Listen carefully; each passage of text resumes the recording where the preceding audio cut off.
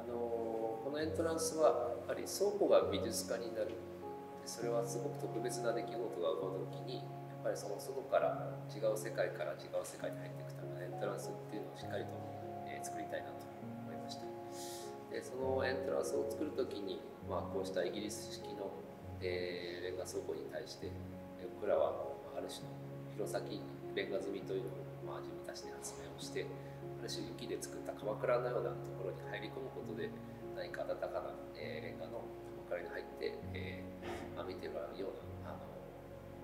にしようというふうに考えました。